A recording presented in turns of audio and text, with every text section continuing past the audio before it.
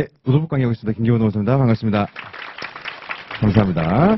오늘 자료집에 52페이지 한번 보도록 할게요. 예, 자료집 52페이지 한번 가보겠습니다. 자, 그래서 52페이지에 1번을 보시면 이제 우리 2차 시험 출제 가능한 유형을 제가 임의로 분류를 해놨어요. 이거 제 나름대로 분류법인데요. 일단 양가로 1번에 논점 제시형 사례 문제 이렇게 돼 있죠. 이거 한번 읽어보겠습니다. 왜 같이 읽어보냐 의미 없이 오물도 풀기 위해서 같이 한번 읽어보도록 하겠습니다. A사는 상시 근로자 100명이 종사하는 전열기구 제조회사다. A사에는 70명의 근로자 조직된 노동자 을이 있다. 2015년 2월 1일 A사 사용자 갑은 기존의 직원 자녀 학자금 지원 제도를 2016년 1월부터 폐지하겠다고 발표했다. 이에 대해 을은 강력하게 반발하면서 갑과의 교섭을 종식으로 요구하였다. 갑이 망설이자 을은 관행적으로 이어주어둔 연장 근로를 2015년 1월 4일부터 집단적으로 거부 하였다. 1차 기본 강의 들으신 분들은 느낌이 좀 오시죠? 그 주법투쟁이에요, 주법투쟁. 이걸 쟁행을 볼수 있을 것이냐, 이게 논점이 되는 겁니다. 이후 을은 2015년 4월 1일부터 쟁행의 참여 투표 등을 절차를 거쳐 태업을 개시하였다. 갑은 2015년 6월 1일자로 사업장 전체에 대하여 노동조합 조합원의 출입을 전면 금지하는 직장 폐쇄를 단행하였다. 2015년 7월 4일 음을 을은 전체 조합을 다시금 업무에 정상적으로 복귀하겠다는 의사를 갑에게 표시하고, 그러니까 사용자가 직장 폐쇄를 했는데, 그러니까 파업을 했으니까 폐쇄를 했겠죠. 그러니까 그 이후에 폐쇄를 들어가니까 파업 멈출게 이렇게 얘기를 하는 거예요. 그럼에도 불구하고 폐쇄를 할 수 있을 것이냐 이게 논점이 되는 겁니다. 표시하고 교섭을 하자고 요청하였다. 갑이 노동조합 측 대화 요구의 진정성에 의문을 제기하면서 대표이사 비방 등에 대한 사과를 요구하자 을은 공식 사과는 물론 만약 폐쇄를 처리한다면 노동조합 집행 사태를 포함한 모든 것을 열어놓고 사용자와 교섭에 임하겠다고 밝혔다. 그러나 갑은 직장 폐쇄 조치를 계속 유지하고 조합원의 출입을 막으면서 개별적 입축을 통하여 40여 명의 조합원들을 선별적으로 업무에 복귀를 시켰다. 그래서 두 개 물어봤어요. 첫 번째가 연장 근로 거부의 법적 성질에 대해 설명하시오. 이거 뭐 안 치는 것처럼 주법투쟁 쓰는 거고요. 어려운 문제는 아닙니다. 두 번째로 물어보는 게 직장 폐쇄 조치의 법적 정상에 대해서 설명하시오. 돼 있어요. 이거는 이제 폐쇄가 들어갔는데 그 이후에 파업 종료를 통지했음에도 불구하고 폐쇄를 계속 끌고 갈 수 있을 것이냐. 이게 이제 주된 논점이었던 문제가 되겠습니다. 아직 공부 안 하셨으니까 뭐 말인지 모를 건데 뭐 그게 중요한 건 아니고요. 지금 보려고 하는 건 뭐냐면 양가로 1번에 논점 제시형 사례 문제하고 양가로 2번에 논점 발견형 사례 문제와 차이를 좀 보려고 하는 거예요. 간단해요. 양가로 1번은 문제를 사실관계를 나열한 이후에 마지막에 이것 써봐라, 이것 써봐라 제시한 거고요. 두 번째 유형 같은 경우는 쭉 나열한 다음에 이와 관련해서 쟁점을 뭐 계속 검토하시오. 이렇게 이제 열어주는 겁니다. 아무래도 이제 두 번째 유형 같은 경우 좀 더 고민의 깊이가 더 많이 필요해요. 근데 이게 이제 가끔씩 나오긴 나오는데 주되게 우리가 나오는 유형은 첫 번째 유형이다 이렇게 좀 이해를 하시면 되겠어요. 그래서 우리가 다른 과목과 다르게 노동법은 이제 1교시, 2교시로 구분돼 있어요. 75점씩 150점이다 보니까 가장 좀 많이 해야 되겠죠. 일단 우리가 보시게 되면은 2차 과목에 노동법이 있고요. 다 아시는 것처럼. 두 번째 인사관리가 있고, 두 번째 행정쟁송이 있고요. 네 번째로 이제 선택 과목이 있죠. 그러면 차이가 뭐냐면 다른 과목들은 100점씩 100점인데 노동법만 100점이 150점이라는 겁니다. 아무래도 똑같은 점수 나오더라도 더 점수 잘 나오면 아무래도 그 전체 점수에 있어서 영향이 좀 있겠죠. 그러다 보니까 노동법을 가장 열심히 하셔야 되겠죠. 노동법을 가장 열심히 해야 되는 이유는 두 가지가 있어요. 왜 또 그러냐? 다른 과목들에 비해서 합격하신 이후에도 가장 많이 활용할 수 있는 영역들이 노동법이기 때문입니다. 자, 우리 방금 송명진 노무사님 왔다 가셨는데 노동경제야 쓸 일이 없어. 실무 가면 그렇죠. 행정재송 쓸 일이 없어. 물론 우리가 심판을 하긴 해요. 중앙행 심의 가가지고 심판하는 경우도 있습니다. 근데 우리 법에서 나왔던 뭐 적격이 쓸 일이 없어. 우리는 시험을 붙기 위한 과목들이죠. 근데 인사관리는 그나마 좀 그래도 프로젝트 하실 때 쓸일 있긴 있는데 시험이랑 좀 많이 달라요 이게. 책에 있는 거다 보니까. 그러다 보니까 실제로 책에 있음에도 불구하고 합격하고 가장 많이 써먹을 수 있는 거 노동법이죠. 1차에 읽고 심지어 가장 자, 열심히 하셔야 되는 과목이 되겠습니다. 100점도 높고, 자, 분위기 좋아요. 자, 그래서 노동법이 이제 1교시, 2교시, 읽길 잘했어. 읽으면서 몸이 풀렸어요. 자, 1교시, 2교시 이렇게 들어가 있습니다. 그럼 배점이 우리 문제가 어떻게, 어떻게 되는 거냐? 1교시에 50점 문제가 하나 나오고요. 25점 문제가 하나 나오, 나옵니다. 2교시 같은 경우도 50점 하나 나오고 25점. 그래가지고 75점, 75점에서 150점 이렇게 들어가는 거예요. 근데 보시면 방금 보신 게 양가로 1번이 논점 제시형, 양가로 2번이 논점 발견형인데요.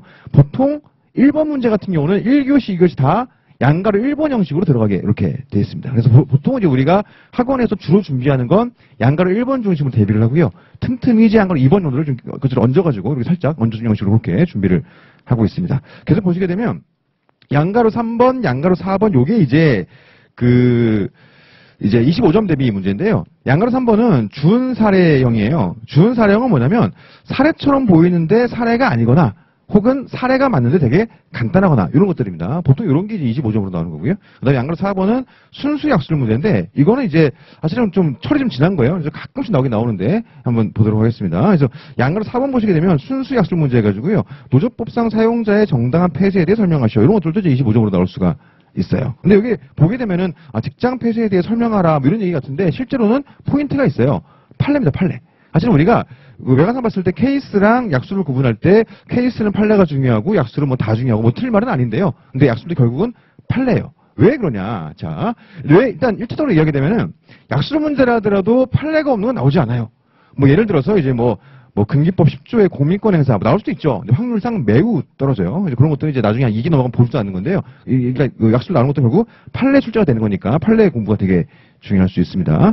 예를 들어 아까 우리 읽어봤던 양가로 1번에 논점 제시형 문제 같은 경우에 뭐 예를 들어 반가로 2번 직장 폐쇄 조치의 법적 정당성에 대해서 설명하시오. 이걸 푼다고 치자고요. 그럼 어떻게 풀 것이냐? 우리는 성문법제 국가니까 아까 김주영 강사님 비슷한 말씀하셨는데요. 일단 우리는 성문법으로 푸는 거니까 기본적으로 법 규정으로 푸는 거죠.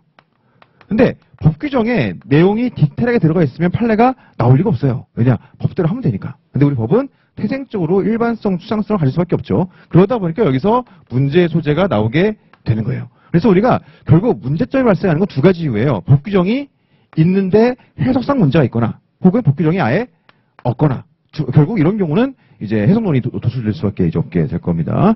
그게 이제 교과서에 실려 있는 걸 우리가 이제 부르기에 학설 이래 부르는 거죠. 거기에 대한 판례 입장 이게 있고요. 여기에 대한 나의 검토 의견 이게 소위 법학 공부할 때 공부하는 이제 문학 판검 구조 되겠어요. 그럼 우리가 시험 공부할 때 제일 중요한 게 뭐냐? 특히 제 시험에서 제일 중요한 건 문제 소재하고 판례예요.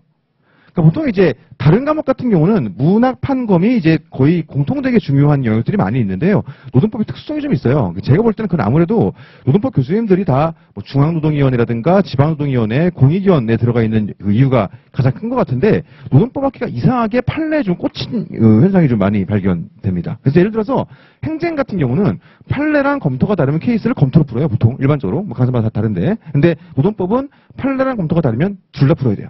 그러니까 일단 1차적으로 우리가 케이스를 풀어야 되는 거는 이 판례라는 거죠.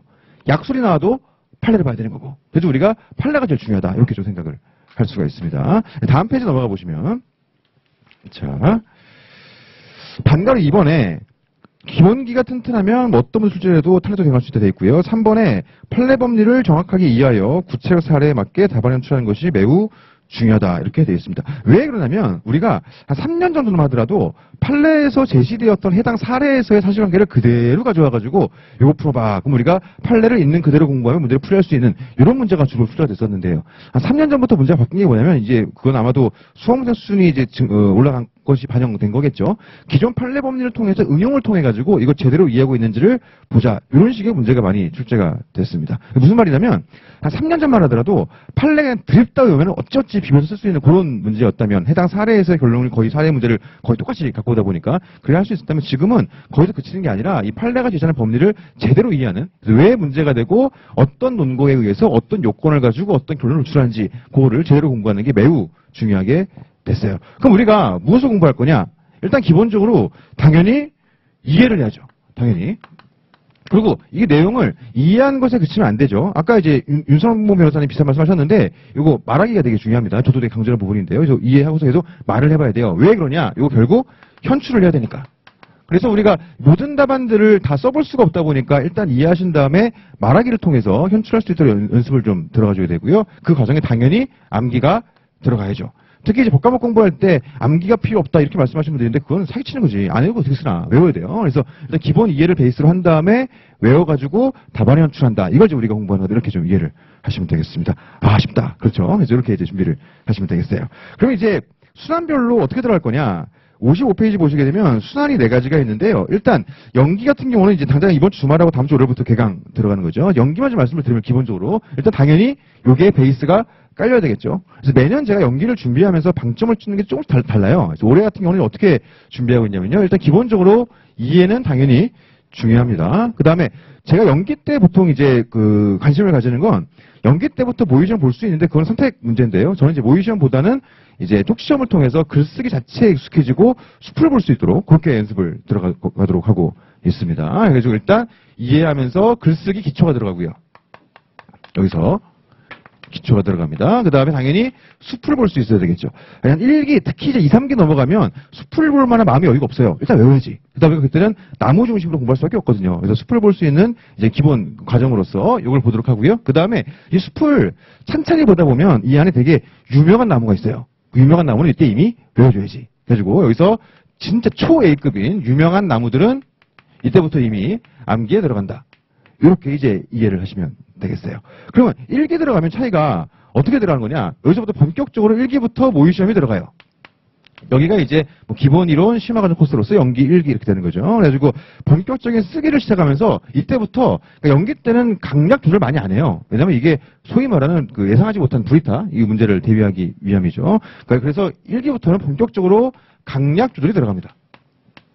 그렇죠? 그 다음에 암기량도 더 증가하겠죠. 이 암기하라는 판례가 좀 더 이때 늘어나게 이렇게 돼 있습니다. 그럼 결국 이제 우리가 연기 때, 일기 때, 요때 보는 논점이 대충 몇 개쯤 되는 거냐? 대충 진짜 넓게 잡으면 한 논점이 한 200개 정도 이때 어 외워야 아, 그 교- 정리를 좀 하셔야 되는 거예요. 딱 봤을 때 너무 많은 거 아니야 생각 드는데 그렇지 않은 게 아까 말씀드렸던 것처럼 이거 어차피 합격하고 다 써오는 거예요. 그러니까 아까워하지 마시고 이때 공부할 때 잘 정리해가지고 하- 하도록 이렇게 들어가면 되겠습니다. 그 다음에 이제 2, 3기 들어가면 오늘 할 얘기는 아닌데요. 이때부터 이제 힘을 확 주기 시작하는 거죠. 그래서 이기 때는 서브노트가 나가는데 그 거기 들어간 논점이 한 60개 정도 들어가 있어요. 그러니까 1기 거치면서 한 140개 날아가 버리는 거죠. 그럼 2, 3기 과정에서 결국 우리가 보는 게 60개 논점입니다. 예. 자꾸 저한테 이제 이상한 프레임이 씌워지는 게 무슨 백화점식으로 다 깔아놓은 이렇게 했는데 그렇지 않아요. 이게 너가 60개 정도밖에 안, 안 하는 거, 2, 3기 안, 안 하는 건데 이 정도는 해야지. 그렇잖아요. 심지어 여기서 3기 끝쯤 되면 더 줄어져요. 근데 아무튼 이 정도 될까, 이 정도는. 그렇지 않습니까? 그러니까 이 정도 실제로 우리가 그 막판 가가지고 한 중반 이후부터 제대로 공부하는 건 한 60개밖에 안 되니까 논점이 너무 겁먹을 필요 없겠더라. 이런 말씀을 좀 드리려고 하는 겁니다. 그럼 제가 이제 강의하면서 좀 신경 쓰는 게 뭐냐. 두 가지가 있는데요. 첫 번째는 시스템에 신경을 많이 씁니다. 저는 이제 사람의 되게 선의, 열정, 의지 이런 거 믿지 않아요. 사람은 이제 시스템이 이렇게 하도록 돼 있으면 그렇게 하는 사람들이 다 사람은 예, 다, 다 그러니까 저는 성악설 지지잖아. 사람 원래 그래요. 그러다 보니까 시스템을 통해서 공부를 할 수밖에 없게 만드는 그런 구조를 되게 중시 여깁니다. 그래서 그냥 너무 많이 고민하지 마시고 하라는 거 하면 그냥 다 합격하게 돼 있어요. 이제 매년 많은 분들이 합격하고 있죠. 그거는 이제 검증되어 왔고 이쯤 되면 이거는 거의 이제 과학이 과학. 그러니까 이제 하라는 대로 시스템 통해서 올해도 작년보다 더 업그레이드된 시스템 많이 준비하고 있으니까 일단 그거 일단 신경을 쓰고 있고요. 그리고 보면 우리가 그래요. 우리가 보면 옛날부터 대학 다닐 때도 선배들 보면서 고시 공부하던 그런 느낌 있지 않습니까? 아, 이 형은 정말 좋은 형인데 후배들 어려운 일 있으면 찾아오고 막 좋은 형이에요. 아, 이 형은 돼야 되는데 이런 건 안 돼. 근데 아, 이 새끼는 되면 안 될 것 같아. 이러냐 돼. 왜 그럴까요? 이기적으로, 이기적으로 공부하니까. 그렇죠? 그래서 시스템을 통해서 되게 이기적으로 만들어 드릴게요. 그래서 이타적인 마- 마음들은 합격한 이후에 베푸면 되니까. 마통으로 많이 긁으면 돼요. 그러니까 그때가 사는 걸로 하고 되게 이기적으로 공부할 수 있도록 시스템을 구축하는 거, 그거 일단 방점을 짓고 있고요. 두 번째로는 제 강의 특징은 팔이 심하게 안으로 굽어요. 그래서 저는 이제 특강도 공개 특강 잘 안 해요, 것들을. 왜, 왜 그러냐면 그냥 제 강의 본강에 들어오신 분들 중심으로 이렇게 나름 이제 커뮤니티 형성해가지고 이렇게 우리끼리 잘해보자 이런 느낌이다 보니까 물론 그 우리끼리가 지금 너무 많아서 문제인데 아무튼 이제 그렇게 하다 보니까는 이제 그렇게 들어가 있습니다. 그래서 저는 이제 제 수강생 아닌 분들 질문도 안 받고요. 그 다음에 이제 따로 있는 카페 안에서의 소통을 되게 많이 하고 대신 들어 이 나- 어, bound 안으로 들어오신 분들은 정말 최선을 다해서 이렇게 지원하는 그런 형식으로 준비를 하고 있습니다. 그래가지고 그 그런 느낌이죠. 저 인간이 저러다가 죽는 거 아니야? 이러면서 저 인간이 과연 3기까지 끌고 갈 수 있을까? 이런 느낌이 들, 수- 들 정도로 최선을 다해서 이렇게 한번 가- 나와바리 들어오신 분들은 같이 이렇게 지원하는 형식으로 이렇게 들어가도록 하겠습니다. 그래서 이후에 진행, 진행된 특강들도 다 이런 식이에요. 1기 수강자 대상 특강 뭐 이런 식이에요. 2기 수강자 대상 특강 이런 식이고요. 3기 도 마찬가지고요. 특강도 그런 식이고요. 질의응답도 마찬가지고요. 다 그런 식으로 준비가 되어 있습니다. 실제 올해 같은 경우에 이번에 시험이 있었죠. 기출 해설이 업로드를 했는데 그 우리 수험 카페는 안 올렸어요. 제 카페에다 올려놨거든요. 이제 점점 이게 안으로 굽는 게 점점 심해지는 거죠. 그러다 보니까 이제 그렇게 하고 있습니다. 그래서 처음 공부하시는 분들한테 제가 보통 두 가지를 말씀드리는데요. 첫 번째는 쉼 없이 가야 돼요. 그래서 1년이든 2년이든 쉬지 마시고 좀 빡세게 달리시는 게 되게 중요해요. 우리가 이제 막 예전 40처럼 막, 막 3년, 5년 이렇게 보고 하는 시험이 아니라고요. 그래서 보통 이제 특히 타시험 경화도 오신 분들이 많이 실수하시는 게 스터디하면서 동생들한테 이런 얘기 한다고요. 야, 70점짜리 공부를 해야지. 그러면서 70%만 하는 거야. 지금 그렇게 하다가 나중에 퍼져. 이렇게 얘기하는데 그거 맞지 않아요. 그냥 달리는 거야, 우리는. 1년, 2년 안에 빨리 끝내고 빨리 나갈 수 있도록. 우리 수험 10년 했다고 누가 알아주지 않아요. 어차피 1년 공부하고 합격하나, 10년 공부하고 합격하나, 똑같아요, 답이. 그죠? 어차피 새로 배워야 돼, 새로. 그러니까는 빨리 붙어서 빨리 나가야 되고요. 특히 합격자 수가 250명 늘어난 지가 벌써 몇 년 됐죠? 올해부터 300이에요. 그러니까 노무사 수가 기하급수로 늘고 있단 말이죠. 그러니까 제가 15회인데 저 없을 때만 해도 필드의 노무사가 1000명이 안 됐던 시절이에요. 나름 좀 희소했죠. 지금은 벌써 한 10년 사이에 3000명이 넘었다고. 10, 12년 사이에. 그러니까 이거 빨리부터 빨리. 이제 빨리 붙어가지고 빨리 나가서 자리 잡아야 되니까 일단 쉼 없이 하는 거 매우 중요합니다. 그냥 1년 동안 죽겠다 이런 마음으로 그냥 이제 같이 뭐 죽겠다 하다 보면 느낌이 올 거예요. 제가 먼저 죽는 거 아니야? 드디어 줄 정도로 열심히 하니까 그게 일단 중요하고요. 두 번째는 뭐냐면 자격증에 대한 확신을 좀 가지는 게 필요해요. 사실 우리가 어떤 자격증도 마찬가지인 게 시험에 합격한다고 그래가지고 모든 게 보장되지 않아요. 그 이후엔 또 이제 새로운 또 경쟁이 또 시작됩니다. 근데 그럼에도 불구하고 제가 생각할 때 갈수록 이제 경기가 또 안 좋아지고 하다 보니까 이럴 때일수록 아예 뭐 공직에 가든가 공무원 시험 봐가지고 그게 아니면 자격증이 매우 중요할 것 같아요. 어쨌든 우리가 우리들은 뭐 이거 시험 본다고 막 당장 막 부기형을 두고 이러지 이러지 않단 말이죠. 이거는 하고 나면 그 안에서의 또 2대 8의 사회예요. 우리 나가 보면 다들 힘들다 그러는데 힘들다는 사람들이 뭐 S클래스 이런다고요. 그러니까 이건 모르는 거야. 그 안에서 또 2대 8 사회니까 또 경쟁이 시작인데 어쨌든 우리는 자격증을 갖고 있으면 나름 평생의 무기가 되죠. 최소한 우리는 실업의 공포에 빠지지 않지 않습니까? 그렇죠? 퇴직의 공포 이런 게 없다고요. 잘라면 잘라, 일단 다음 되지. 뭐 이런 게 정할 거 없으면 개업해도 되고. 그러니까 제가 생각할 때 이것만 분다 그래 가지고 뭐 대단히 무슨 뭐 부기영화가 있고 이러지 않는데요. 그 다음엔 개인 역량이 또 차이죠. 근데 그럼에도 불구하고 2018년 한국 사회에서 실업의 공포로부터 해방, 해방된다는 건 굉장한 의미가 있어요. 그러니까 이거 확신 가지고 기왕 들어오셨으니까 최선을 다해서 하시는 게 매우 중요할 것 같습니다. 자, 그래도 이제, 그, 올해 같은 경우는 2차 시험에 좀 delay 돼가지고 이제 2차 시험 끝나자마자 바로 다음 주에 연기가 개강하는 이런 시스템인데요. 어, 지금까지 10년간 그래왔던 것처럼 내년 1년도 최선을 다해서 어, 그 되게 훌륭한 시스템을 가지고서 많은 분들이 필요할 수 있도록 이렇게 올해도 최선을 다해서 강의하도록 하겠습니다. 그래가지고 왜 사람들이 눈법을 김기범이라고 하는지 짬에서 는 바이브를 보여드리도록 하겠습니다. 예, 1년간 같이 한번 죽어보죠. 수고하셨습니다.